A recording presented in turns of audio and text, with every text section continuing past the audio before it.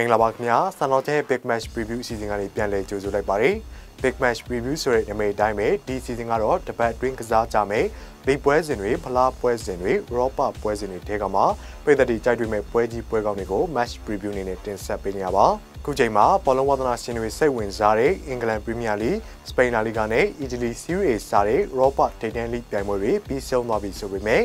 အဲ့ထိပ်သီးလိတွေကကလပ်သင်းတွေပါဝင်ရှင်ပြိုင်ရတဲ့ချန်ပီယံလိနဲ့ ယူရိုပါလိပြိုင်ပွဲတွေရဲ့ဘောလုံးပွဲစဉ်တွေကကြန့်ရှိနေပါတယ်။အဲ့ဒီထဲကယူရိုပါလိဘောလုံးပွဲဖြစ်တဲ့စီဗီလာသင်းနဲ့အင်တာမီလန်သင်းတို့ကတော့မနက်ဖြန်နဲ့တနင်္လာရီခွဲမှာရှင်ပြိုင်ကစားမှာဖြစ်ပြီးတော့ဒီတစ်ပတ် big match အနေနဲ့အဲ့ဒီပွဲစဉ်ကိုရွေးချယ်ထားပါတယ်။ဒီပွဲစဉ်ရဲ့ match preview ကိုမတင်ဆက်ခင်မှာပြည်သက်ကြီးကိုတိုက်တွန်းချင်တာလေးတစ်ခုရှိပါတယ်။ဒါတော့ကျွန်တော်တို့စံတော်ချင်းကနေနေ့စဉ်တင်ဆက်ပေးနေတဲ့ရုပ်သံစီစဉ်ကောင်းတွေကိုလက်မလွတ်တမ်းကြည့်ရှုနိုင်ဖို့အတွက်ပိုးရဲပေါ်ပြထားတဲ့ YouTube လင့်ကိုတွားပြီးတော့ subscribe လုပ်ထားပြီးဖြစ်ပါတယ်ခင်ဗျာ ဒီတော့ကျွန်တော်တို့ရဲ့ big match preview စီစဉ်လေးကိုစလိုက်အောင်ပါ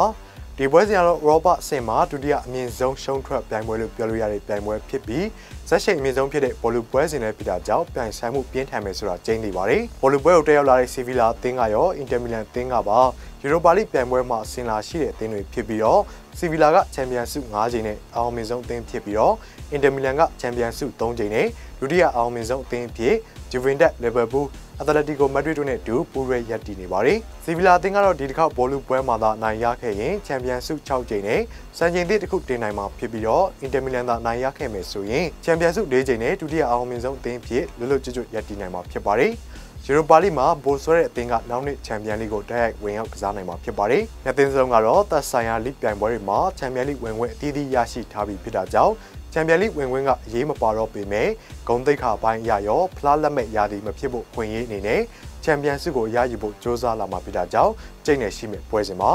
စီဗီလာအသင်းကတော့ဒီနှစ်ယူရိုပါလိပြိုင်ပွဲကိုအုပ်စုအဆင့်ကနေစကစားခဲ့ရဖြစ်ပါတယ်။အုပ်စုအဆင့်ကနေ32သင်းရှုံးထွက်ပွဲစဉ်ထိခြေစွမ်းထူးထူးခြားခြားကောင်းမွန်ခဲ့တာမျိုးမတွေ့ခဲ့ရပြီးမြဲကိုဗစ်ကာလအလွန်ပြန်လည်စတင်ခဲ့တဲ့ပွဲစဉ်တွေမှာတော့စီဗီလာရဲ့ခြေစွမ်းကပြည့်ပြတ်သားတိုးတက်လာခဲ့တာကိုတွေ့ရပါတယ်။လာလီဂါမှာတင်မကဘဲနဲ့ဂျာမန်ပြည်မှာကစားခဲ့ရတဲ့လက်ကျန်ယူရိုပါလိပွဲစဉ်တွေမှာရလက်ကောင်းရခဲ့တာကတတ်သိပါ။ဘောလုံးပွဲထိဖြတ်တန်းလာတဲ့လမ်းကြောင်းကိုကြည့်မယ်ဆိုရင်လည်းရေပန်းစားဆုံးမှန်ယူသင်းပါဝင် Wolf Roma စတဲ့မာကျော်တဲ့တင်းတွေကိုဖြုတ်ချလာခဲ့တဲ့တင်းမှာ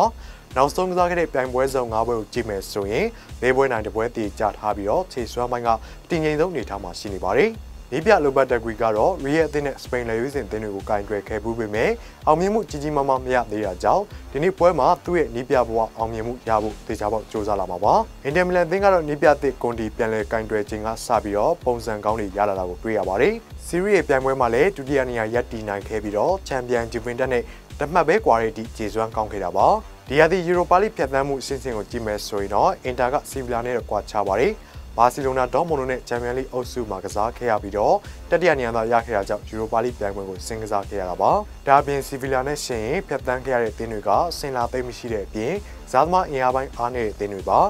ဒါပေမဲ့လည်းအင်တာမီလန်တင်းရဲ့ကစားသမားစုဖွဲ့မှုကစီဗီလာထက်ပိုကောင်းတယ်လို့ပြောလို့ရပြီးတော့နီးပြပိုင်းရှင်လည်းအင်တာရဲ့ကွန်တီကတွေ့ကြုံပိုရင်းချက်ပြီးတော့ပရီးမီးယားလိဖလားစီးရီးဖလားအပါအဝင်တခြားသောအဓိကဖလားတွေကိုရယူနိုင်ခဲ့မှုတဲ့နီးပြပါ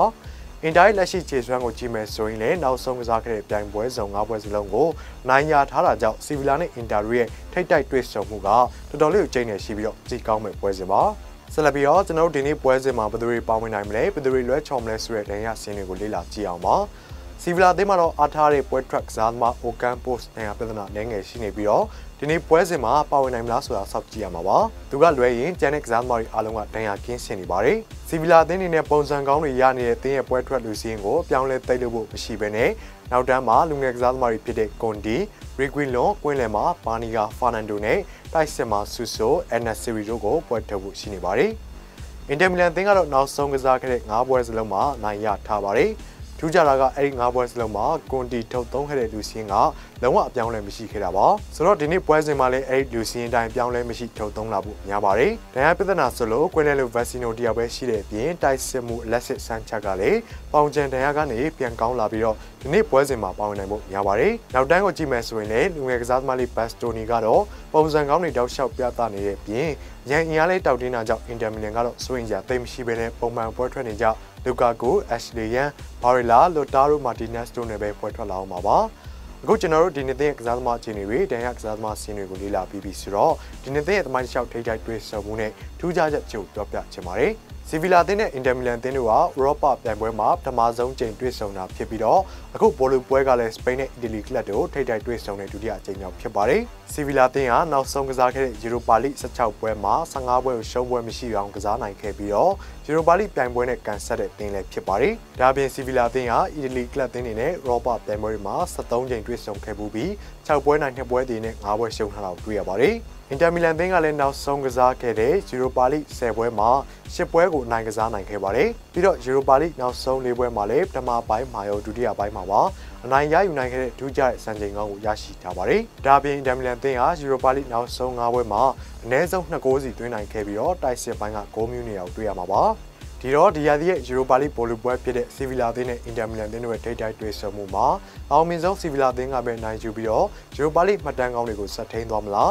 ဒါမှမဟုတ်ကွန်တီရဲ့အင်တာမီလန်အသင်းကပဲနိုင်ယူပြီးတော့အောင်မြင်မှုနဲ့ဝေးကွာနေမှုကိုအဆုံးသတ်သွားမလားဒီဟာဒီမှာဖလားလက်မဲ့ဖြစ်မဲ့အသင်းကဘယ်အသင်းဖြစ်မလဲဆိုတာကျွန်တော်တို့အတူတူစောင့်ကြည့်နေပဲဒီတစ်ပတ်ဆန်တော်ချင်းရဲ့ Big Match Preview Season ကိုတောင်းနေပဲရင်နာပြစီခင်ဗျာကျွန်တော်တို့ရဲ့ဒီ season လေးကိုချိန်ပေးပြီးတော့ကြည့်ရှုအားပေးနေကြတဲ့အားကစားဝါသနာရှင်ပရိသတ်များကိုလည်းထူးပဲကျေးဇူးတင်ရှိပါတယ်ခင်ဗျာ